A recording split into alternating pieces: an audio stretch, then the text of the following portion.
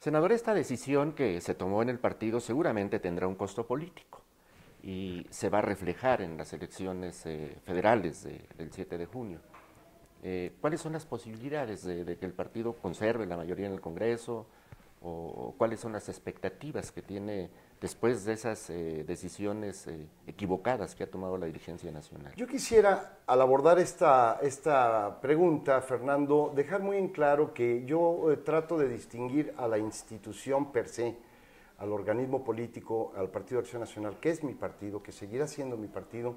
de la forma en que se han conducido las dirigencias. Porque hasta ahora me he referido a la dirigencia nacional, pero el mismo fenómeno se repite a nivel de los estados, particularmente en el caso de San Luis Potosí. Es decir, yo siempre desearía que Acción Nacional le vaya bien. Yo soy el primero en lamentar que este tipo de circunstancias sí generan, desde luego, una afectación en, en el ánimo del electorado, particularmente en el ánimo de quienes simpatizan con Acción Nacional, pero también nos, nos pone de cara a la sociedad y nos eh, califica el ciudadano que no está tan politizado como que el Partido Acción Nacional también está incurriendo en prácticas que durante tanto tiempo, tantos años, décadas completas señaló y criticó en otros partidos.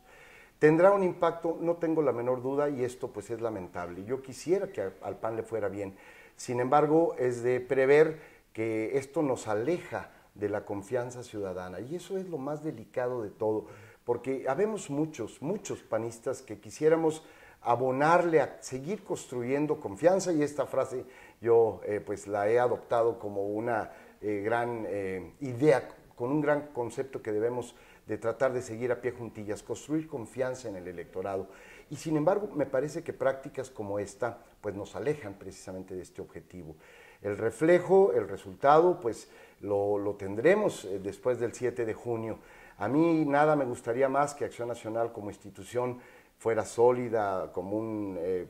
bloque monolítico para poder eh, recuperar las posiciones que ha perdido gradualmente en los últimos años y que me parece cada día estamos eh, pues acercándonos más a ese borde del abismo. Sin embargo, tampoco todo es oscuro. Como en la vida siempre hay, claros y oscuros. Hay proyectos y candidaturas, en el caso de algunas diputaciones federales de mayoría, pues que son una luz, que son un viento fresco, que alientan a la posibilidad de mejores participaciones de gente panista, sí, pero con un gran componente ciudadano.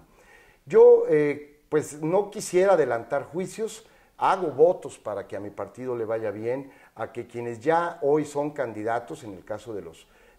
candidatos a diputados locales, en el caso de las alcaldías, por definirse temas muy importantes como las diputaciones federales y desde luego la gubernatura, pudieran representar em, esa expectativa que tiene el ciudadano hoy día para que Acción Nacional em, se vuelva a convertir en ese adalid de la democracia, de la lucha por los valores, de la lucha por esos principios que tanto hemos defendido a lo largo de tantos y tantos años y que lamentablemente los que integramos los partidos somos los que nos hemos encargado de desviarnos de esos objetivos. Senador, todavía hace tres meses hablar de Octavio Pedrosa Gaitán en San Luis Potosí producía urticaria entre los partidos políticos. Bueno, todavía de pronto, ¿eh? Todavía de pronto, en, el, PRI, en el PAN y en el PRD. Ya ha dado usted eh, muchas razones, eh, los motivos de su declinación de participar en la contienda interna por la gobernatura del Estado. Sin embargo, pareciera que todavía el proceso de acción nacional no está resuelto, pareciera que apunta a, caer en una probable crisis eh, por las señales, los mensajes que se escuchan. ¿No cree usted que todavía hubiera alguna posibilidad de que Octavio Pedrosa pudiera entrar como una estrategia del partido en una recta final?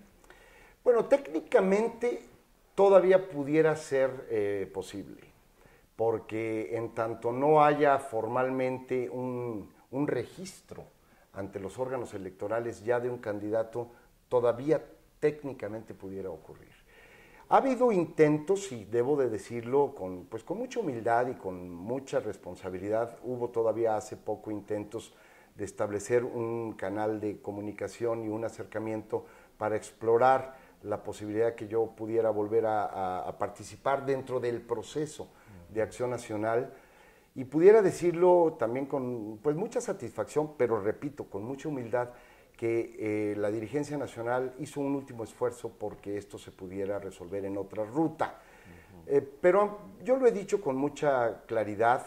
eh, no es esto algo tan, tan pueril, no es un juego, no es algo que se pueda estar abordando de hoy no, mañana sí, después otra vez no, y, y mira, cambiamos y lo que tú dijiste, pues ahora resulta de que sí lo tomo en cuenta. Yo tuve un periodo, Fernando, y gracias a los espacios que ustedes siempre me hicieron el favor de brindarme, la, oportunidad de decir mi verdad. Y señalaba yo a las dirigencias, tanto estatal como nacional, que yo tenía toda la disposición de participar si era un proyecto que a mí me, alentaba y me llamaba eh, pues a, desarrollar mi mejor esfuerzo. Sin embargo, me parece que todo el mundo lo entendió, menos la dirigencia, la local particularmente, y por omisión la dirigencia nacional. Nunca eh, me parece, y lo digo respetuosamente, leyeron bien lo que estaba ocurriendo en San Luis Potosí, el desenlace de lo que pudiera ocurrir en este proceso. Y, bueno, yo, aunque sé que trae costos eh, altos políticamente hablando, tanto para tu servidor como costos en lo general al partido y probablemente al Estado, yo tomé una decisión con mucha responsabilidad de no participar porque no me iba a prestar a un juego de un manoseo impúdico de la dirigencia estatal en turno, que hoy está de licencia y que amenaza con regresar, y que lamentablemente fueron quienes no tuvieron la atingencia de leer lo que afuera, no adentro del partido, afuera la sociedad pudiera haber estado estableciendo como una probable ruta para ganar las elecciones del próximo mes de junio. Muy bien, senador. Regresamos.